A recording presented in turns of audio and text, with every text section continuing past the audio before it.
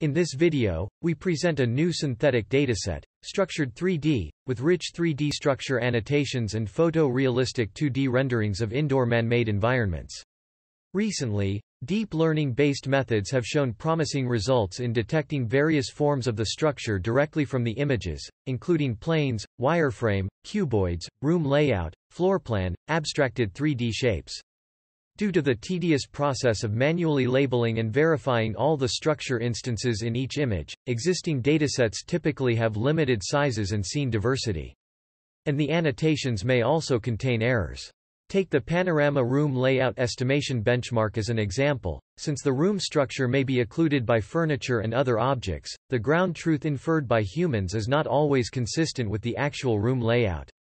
In the left image, the room is a non-cuboid layout, but the ground truth layout is labeled as a cuboid shape. In the right image, the front wall is not labeled as ground truth. These examples illustrate the limitation of using real datasets as benchmarks. Then, since each study primarily focuses on one type of structure, none of these datasets has multiple types of structure labeled. As a result, existing methods are unable to exploit relations between different types of structures. For example, planes in man-made environments are often bounded by a number of line segments. To create a large-scale dataset with the aim of facilitating research on data-driven methods for structured 3D scene understanding, we leverage the availability of professional interior designs. We first create a computer program to automatically extract all the geometric primitives and their relationships from original house design files. Then, we utilize industry-leading rendering engines to generate photo-realistic 2D images. Here, we compare the rendered images with photos of real decoration guided by the design. For each room, we generate different configurations by removing some or all the furniture.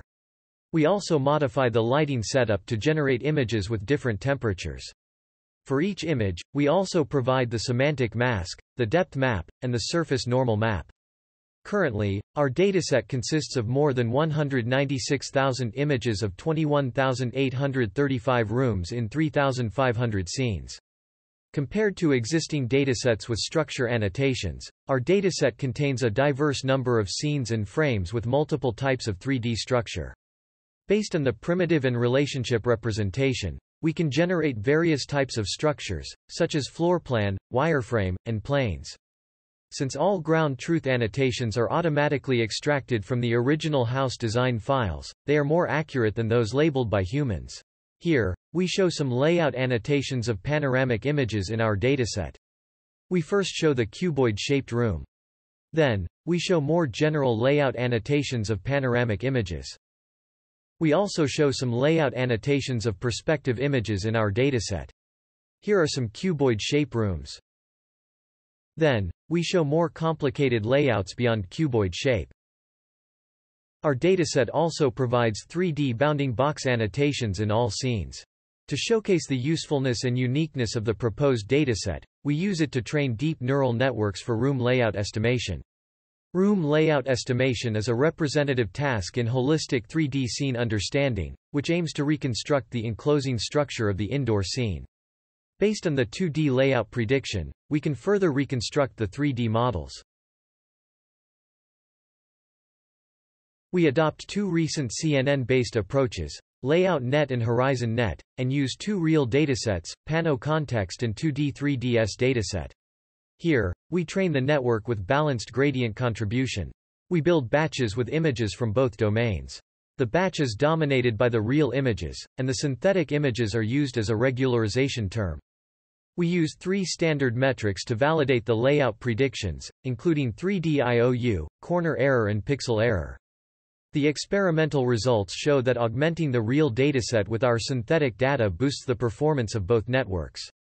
Here are some qualitative results of Layout Net.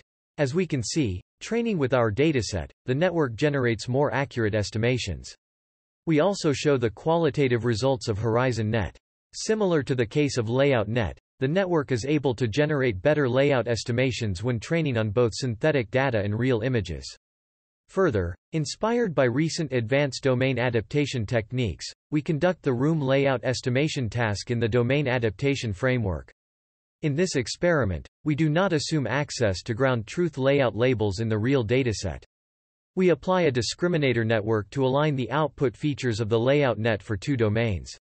We further leverage multimodal annotations in our dataset by adding another decoder branch to the layout net for depth prediction. We concatenate the layout and depth predictions as the input of the discriminator network. The results show that the network can predict more accurate results on real domain with domain adaptation techniques. By incorporating additional information, such as depth map, we further boost the performance on both datasets. We also show some qualitative results on the domain adaptation experiment. From those results, we observe that the layout estimation results get improved with the domain adaptation technique. To summarize our contributions, we first create the structured 3D dataset with rich multiple types of structures. Then, we introduce a unified primitive and relationship representation. This representation enables us to efficiently capture a wide variety of semi-global or global 3D structures and their mutual relationships.